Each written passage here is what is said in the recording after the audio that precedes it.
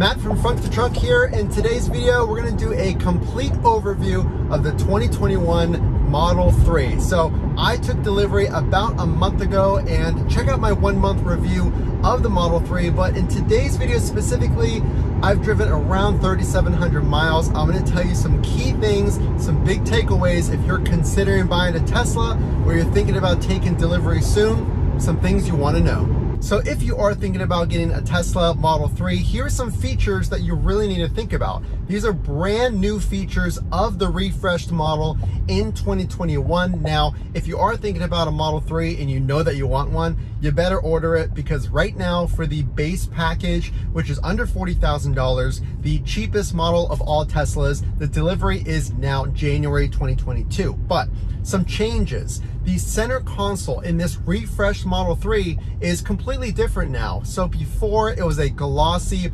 piano black finish and a lot of customers have found that there's fingerprints and they didn't really like the finish being glossy. So now it is more of a matte gray type of finish with a really cool uh, close and opening function of the center console. There is a chrome delete, so no more handles on the new refreshed Teslas for 2021 have chrome handles. So if you see a Tesla with chrome handles, that is a model from before 2021. So now the Model 3 has Tesla Vision. So there's no more radar on the new Teslas. So this is not a bad thing. So Elon Musk has really put a lot of emphasis on Tesla Vision, which are eight cameras that are used to use autopilot in your new Tesla. Now, we're gonna go over autopilot and a lot of other functions later in the video, so stick around to the end. But the autopilot now uses Tesla Vision. So one of the coolest and most used functions of the standard range that I use is the automatic close on your trunk. So now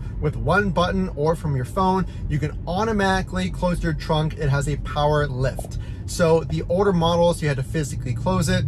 One of the most convenient options if you're someone that has a lot of kids and maybe you have a lot of things going into your trunk like groceries or toys or what have you, really cool function. You now have four USB-C ports. So if you have a new iPhone or some new technology that you need to charge, you now have four USB-C ports. You're now getting more space in the Model 3. Your frunk, which is your front trunk, now has more space because of a new and upgraded heat pump. So you now have a larger amount of room in that frunk, another benefit of the refreshed Model 3. So in addition to my overall thoughts, again, this is an overall video of the Model 3. What are some things that you need to think about? is it worth it? Is the Model 3 worth it based on the performance, based on what you get just straight out of the box, if you will? So the Standard Range Plus, which is the model that I have, has a 0 to 60 of 5.3. Is that enough? If you like performance, trust me, if you had an old ICE vehicle, I had a Jeep Compass that had an absolutely dreadful 0 to 60, you will be blown away at the quickness of this car, even being the base model, the Standard Range Plus. The range isn't enough. Out of the box, you get 263 miles. Now, I have a full charging video on cost and what to expect based on your commute. This is gonna help you choose which model to get. So please check out the charging video uh, maybe after this one. But this is the cheapest model of all the Teslas. So if cost is an issue, I would consider the Standard Range Plus. Um, but if you're looking for a really good, quick, high-tech sedan, there's actually more space because of those refreshes in this sedan. It is a sedan that is than any other car I've ever seen. There's that front space and space under the trunk. So after driving for around 3,700 miles in my Model 3, my overall impressions are that it was worth every single penny. But we're gonna go over some warning signs later in the video, but overall, and we're gonna explain those warning signs by the way, but overall for the performance and the space and all the quality of the finishes I was overall very pleased. So if you're thinking about should I get a Model 3 the performance the quality the range I think for most daily drivers is really to blow you away. So what might be some of those warning signs when we're talking about the Model 3 well you've probably heard of paint quality issues and after 3700 miles I can just say this, I've driven uh, fairly frequently around town on the highway and I already have some issues. Now, I wouldn't say these are deal breakers to me. I don't want the paint quality issue to scare you away from buying a Tesla. I mean, honestly, any car that doesn't have a front air intake, there's no uh, grill on your Tesla, correct? So all of the rocks and gravel and insects, your front bumper is honestly getting pummeled by that stuff every single day. I would highly recommend some type of ceramic coating or PPF, which is paint protection film, because I mentioned paint quality issues. I already have some dings or some small chips, and if you're putting down $40,000, you kind of wish you didn't have this after 3,700 miles of driving, but it is what it is. So another warning sign when it comes to charging. Now, one of the biggest complaints that you hear about EVs and Tesla specifically is how long it takes to charge but most EV owners and Tesla owners charge overnight. So I know you're probably gonna hear, well, it takes hours to charge and this, that, and the other, but what else are you doing overnight other than sleeping? So if you can, install a NEMA charger. Again, for the cost on these chargers and all kinds of adapters and things like that, check out that charging video. But it's really convenient to wake up to a full um, charge every single day you're really not worried about your range and the charging is not a hindrance because you're sleeping anyway. Now, of course, if you need charge right now, you have to go to a supercharger. So if you're low in an emergency or what have you, you are reliant on those superchargers. It's the only thing to charge your Tesla at 300 plus miles an hour. Uh, so you do have to live or find one of those superchargers if you need something in a pinch. So another warning sign, is the range enough? Um, so I'm just gonna say that my daily commute is around 36 miles and I charge every two to two and a half days. And that is enough for me, but keep in mind this. I only let my car get down to around 140 miles and then I charge it.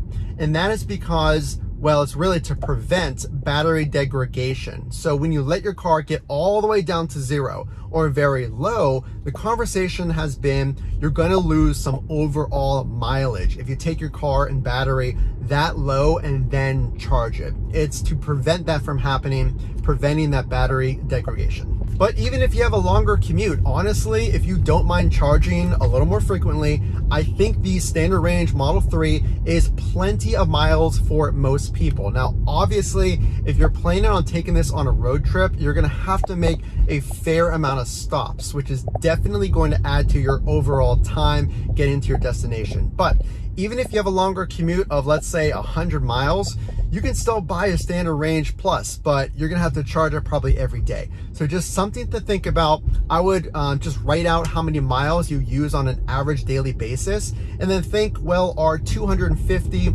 to 230 miles going to be enough?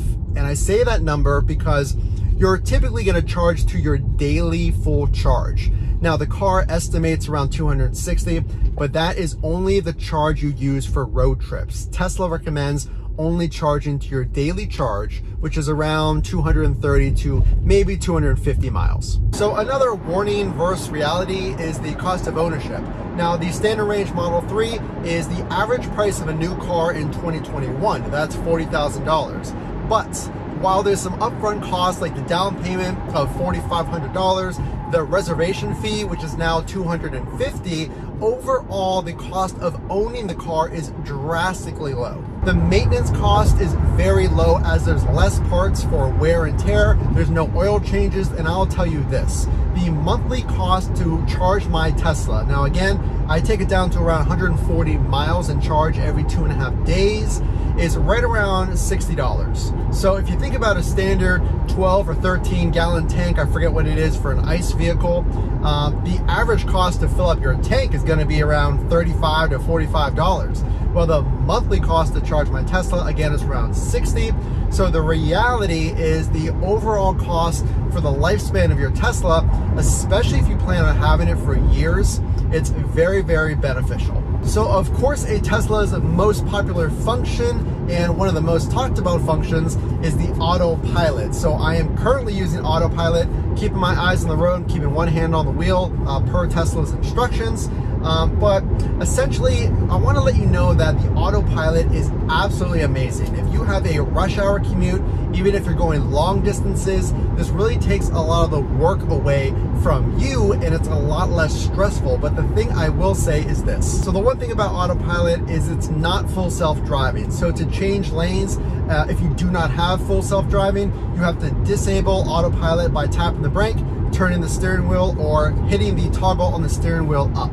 So to make those adjustments in traffic like lane change, you have to do it manually. But the autopilot feature, even the standard autopilot that comes with your Tesla is absolutely worth every penny. It takes so much stress away from all of that traffic, from just going on the highway for long distances. I'm telling you, if you're thinking about buying a Tesla and you're remotely interested in autopilot, you'll be blown away. So the screen takes, I would say, about a week to get used to. And is the car too different? You might be asking yourself, well, is there going to be a learning curve? Am I going to like the minimalistic look or using a screen to access all my technology? Well, you will absolutely get used to it very quickly. And if you do like anything modern or maybe you're a fan of technology, you're going to really love this car. You're going to fall in love and the tablet or the screen, I should say, is really easy to use. And we'll have future videos of how to use the screen. So make sure to subscribe if you haven't done so already. But overall, if you love technology, this car is loaded with it. So my overview of the Model 3, if you are considering a Tesla Model 3 or another model of Tesla, consider using my referral link in the description and check out the accessories all the accessories at one click that you really should consider if you're getting a brand new Tesla. You got to keep that Tesla in really good condition and keep it clean. So if you do like this content, make sure to drop a like so that I know that you enjoyed it and consider subscribing. Again, this is Matt from Frunk to Trunk. Put all your questions in the comments below so I can answer them and we will see you in the next video.